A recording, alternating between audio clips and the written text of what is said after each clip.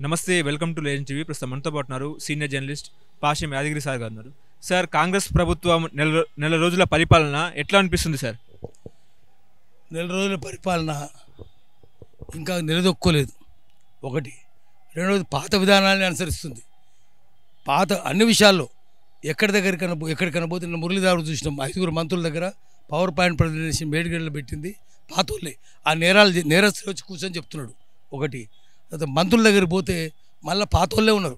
గతంలో గతంలో health minister దగ్గర ఉన్నాయన ఇప్పుడు హెల్త్ మినిస్టర్ దగ్గర ఉన్నాడు. మార్పులు ఏం లేవు.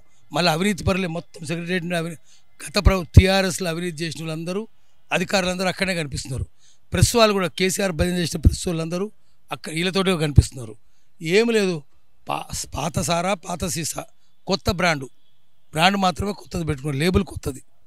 అందుకని ఏంటంటే మార్పు ఏం లేదు. విధానాల్లో కూడా మార్పు ఏం లేదు. పోలవరం విషయంలో మార్పు లేదు కాళేశ్వరం విషయంలో మార్పు లేదు. ఆ కు- పాతోళ్ళే చెప్పడాన్ని బట్టే తెలిసిపోతున్నాం ఉంది. ఫార్మాసిటీ ఒక్క ఫార్మాసిటీ కాదట పది ఫార్మా విలేజ్ పెడతారట.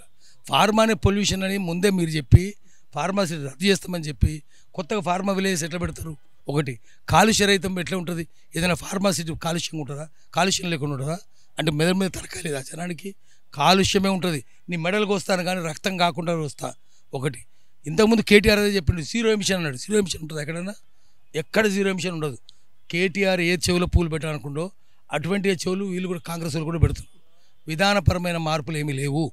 ఎందుకంటే అదే వర్గం ఆ కా- కాంగ్రెస్లో ఏ వర్గం ఉందంటే గతంలో బీఆర్ఎస్ ఉన్న వర్గమే. అదే ఆర్థిక వర్గం దీంట్లో ఉంది. అదే సామాజిక వర్ణం ఇందులో ఉంది. అందులో ఇందులో ఏమి తేడా లేదు.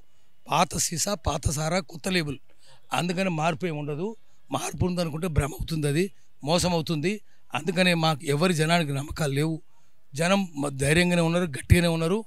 ఏదో ఆ రోజు అనుకున్నది ఏంటంటే బీఆర్ఎస్ని ఇంటికి పంపాలనేది కాంగ్రెస్ అవసరం కాదు. కాంగ్రెస్ ఎప్పుడు తన అవసరమని ఫీల్ కాలేదు. ప్రజలే ఫీల్ అయినరు.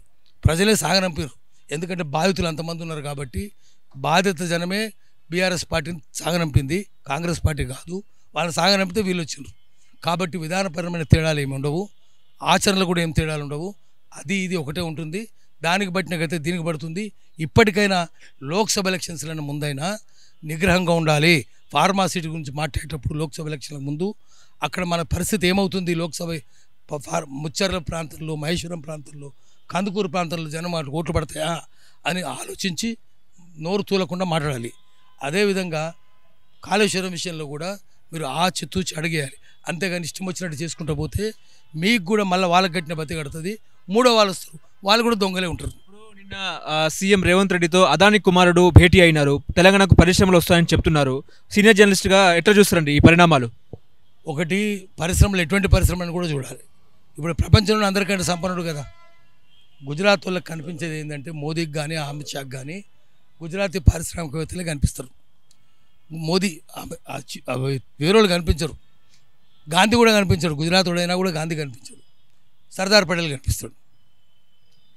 అయితే వీళ్ళిద్దరి మధ్య రాజు కుదిరిందా? మనకు అనుమానాలు ఉన్నాయి. పోయి అదే అడిగి ఉంటాడు. మేము పరిశ్రమలు పెట్టాలి ఆదాయాన్ని ప్రసన్నం చేసుకోవాలనుకుంటున్నాము. మీరు సహకరించండి అని అడుగుంటాడు. వాళ్ళు కూడా చెప్పుంటారు. కానీ ఎటువంటి పరిశ్రమలు పెడుతున్నారు? అది ఉత్పత్తి ఆర్థిక వ్యవస్థకు దోహదం చేసేది అయి ఉండాలి. వ్యవసాయ ఉత్పత్తికి పరిపుష్టం చేసేది అయి ఉండాలి. గ్రామీణ ఆర్థిక వ్యవస్థను మళ్ళీ కలకల్లాటట్టు చేసేది అయి ఉండాలి. ఎందుకంటే ఉపాధి కలిగించాలి కదా. ఊరికి ఐటీ పెడితే ఏమొస్తుంది? ఐటీలు ఏం లేదు. ఫార్మా పెడితే ఏమొస్తుంది? కాలుష్యమే. ఐటీలో ఉద్యోగాలు ఎవరు రావు. ఇక్కడ వాళ్ళకైతే రావు. బిల్డ్ భూములు అయితే పోతాయి కాలుష్యం లేని పరిశ్రమలు కావాలి. ఉత్- ఉత్పత్తి పెంచేవి కావాలి. ఉపాధి కల్పి కల్పించేవి కావాలి. అటువంటివి పెడితే మాకు సంతోషిస్తుంది తప్ప ఏదో అంటే చాలా పరిశ్రమలన్నీ ప్రజాకంటకమైనయే. అభివృద్ధి అభివృద్ధి అనే సోకాడు అభివృద్ధి ప్రజలకు వ్యతిరేకమైంది. అందుకని రోడ్లు ఫ్లైఓవర్లు ప్రాజెక్టులు అంటే ఇరిగేషన్ ప్రాజెక్టులు కడితే ఎనభై శాతం ప్రజలు ప్రాజెక్టుల కింద మునుక ముగ్గురు అయిన వాళ్ళందరూ ఆదివాసులే. గనులు మొదలు పెడితే గనుల కింద మొత్తం ఊర్లు పోగొట్టుకున్నంత ఆదివాసులే. కాబట్టి ప్రజలకు వ్యతిరేకమైంది ఇది. ఈ అభివృద్ధి అనేది పిచ్చోళ్ళు వింటారు తప్ప అది తిక్క నిర్వచనం అభివృద్ధి అనేది జనం ఒప్పుకోరు దాన్ని. కానీ ఇక్కడ కాళేశ్వరం గురించి మాట్లాడుకుంటే కాళేశ్వరం ఏమో మధ్యలో ఉంది.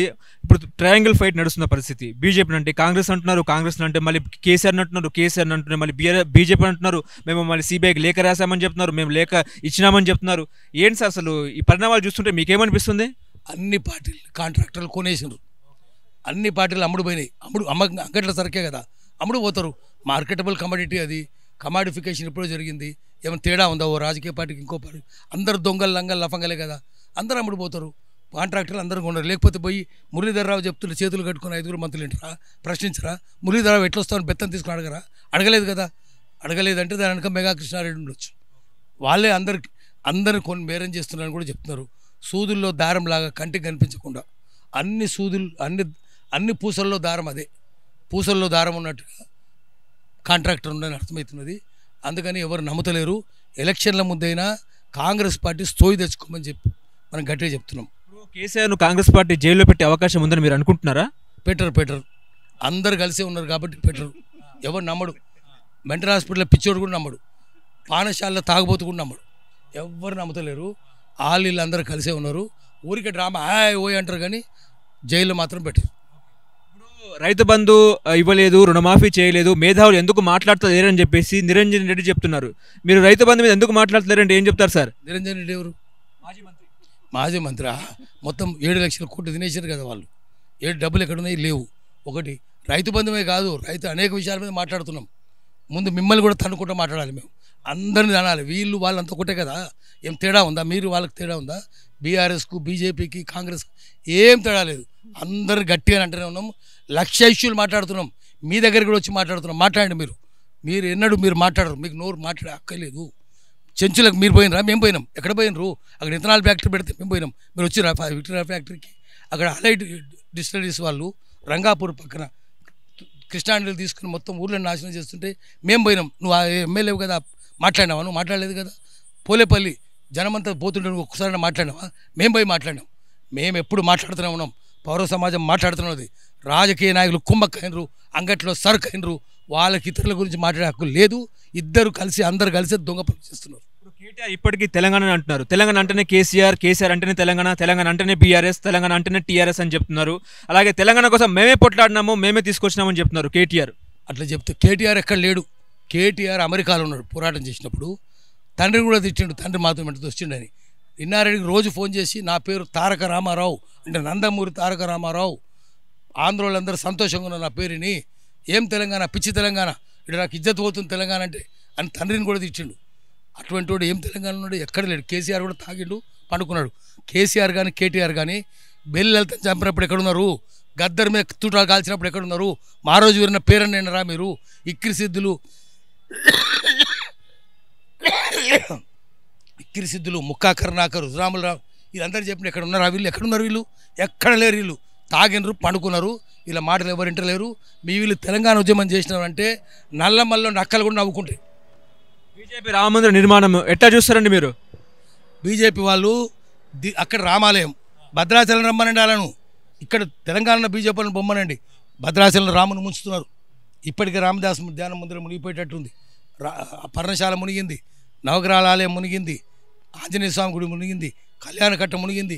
పది అడుగులు లేపితే రామదాస్ ధ్యానం. ఇంకో పది అడుగులు లేపితే రాముని గుడి మునుగుతుంది ఇప్పటికే సగం మునిగింది భద్రాచలం. పెట్రోల్ బంకులన్నీ మునిగిపోయినాయి.